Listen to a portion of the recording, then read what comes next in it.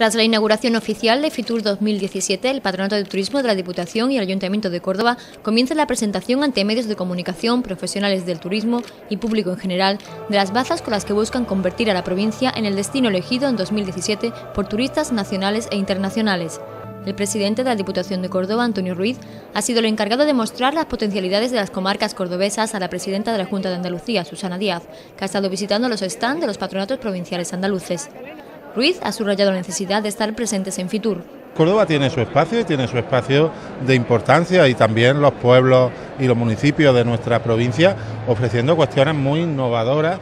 Estamos hablando de que el turismo es un sector siempre en continua renovación, muy flexible, siempre tienes que estar atento a lo que pueda ocurrir y damos la oportunidad de que todos los municipios de nuestra provincia, dentro de esa riqueza desde luego variada, pero tan importante que tiene nuestra provincia en patrimonio natural, en patrimonio monumental, en gastronomía, por supuesto, pues sirva para que ese crecimiento que estamos experimentando en materia de turismo de interior se consolide. La Feria Internacional del Turismo, que llega este año a su edición número 37, se celebra en Madrid hasta el próximo domingo 22 de enero. Se trata de la segunda feria de este sector y la primera para el mercado latinoamericano. Se espera la visita de más de 250.000 personas y participan más de 9.600 empresas. Además, se ha incrementado el número de expositores hasta 755 procedentes de 165 países y regiones del mundo.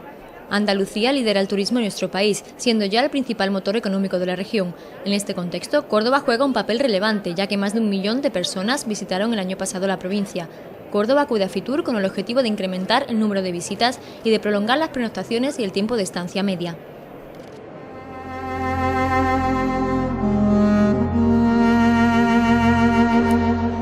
Córdoba nos abre las puertas de su majestuoso patrimonio histórico y cultural, de sus espectaculares parques naturales y de su soberbia gastronomía.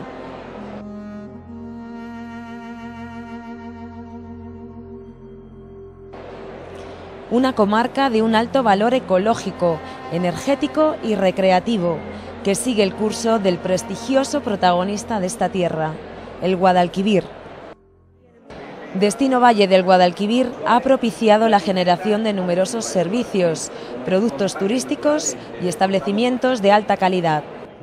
Han escogido Fitur para presentar más de 100 productos turísticos diferentes que aportan diversidad y desarrollo a esta comarca, bajo los que están casi medio centenar de empresas. Una tirolina de 250 metros de longitud, con la que llegar a deslizarte a 80 kilómetros por hora a la ruta taurina se le une un museo dedicado enteramente a la figura del cordobés, tanto en su faceta de torero como en su dimensión social.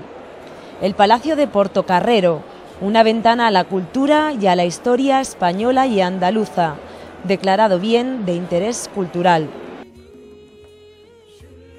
Y es que es mucho lo que esta provincia ofrece y fabulosos los datos turísticos de la región Solo en este pasado 2015, Córdoba batió récords en turismo. Y así, con todo su esplendor, nos muestran el encanto de un valle histórico y natural, enamorado como no podía ser de otra manera, del Guadalquivir. La promoción de la provincia de Córdoba ha comenzado hoy en Fitur 2017 con la presentación de las potencialidades que ofrecen para el turismo de interior los 14 municipios englobados en la subbética, mancomunidad que ha traído nuevos productos turísticos como Naturaleza en Piedra, que busca dar a conocer el legado medieval de la zona, nuevo material promocional y una nueva página web.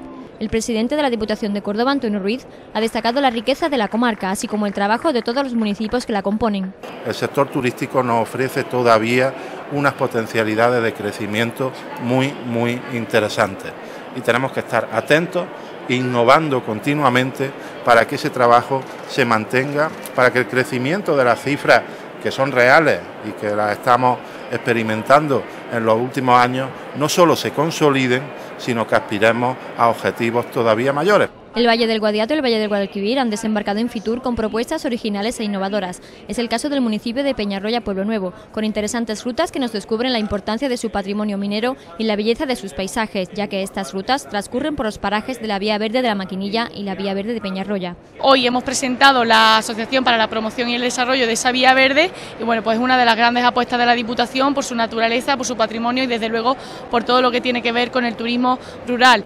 La apuesta del Patronato Provincial de Turismo por la puesta en valor de las vías verdes de la provincia ha quedado patente en la presentación del nuevo material promocional de la Vía Verde del Aceite, una iniciativa en la que van de la mano las diputaciones de Córdoba y Jaén. La implicación de la Diputación de Córdoba en este proyecto se debe a que hay un tramo de la vía, la Vía Verde de la Subbética, que discurre por la provincia. Fuimos capaces de reconocer el valor que como reclamo turístico tenía esa Vía Verde de la Subbética.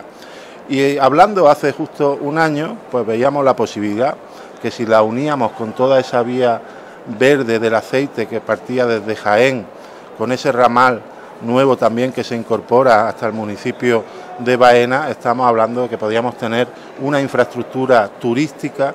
Esta vía verde del aceite discurre entre Jaén y la antigua estación de Campo Real, en Puetegenil. Cuenta con una longitud de más de 120 kilómetros, a los que se añade el ramal de Baena, de 7,9 kilómetros. En cuanto al Valle del Guadalquivir, sus municipios han dado a conocer sus recursos patrimoniales, naturales, de ocio y turismo activo, incidiendo en que son el complemento perfecto a la visita del turista a la capital, de la que solo les distancia media hora. Por otro lado, la gastronomía y su capacidad para generar visitas turísticas ha sido otro de los ejes sobre el que han pivotado las presentaciones de hoy. Así, el máximo representante de la institución provincial ha dado su respaldo a la cuarta edición de Córdoba Califato Gourmet, una cita con la alta cocina que se celebrará del 15 al 17 de octubre y que ha conseguido acercar a la calle la alta cocina de chef con estrellas Michelin.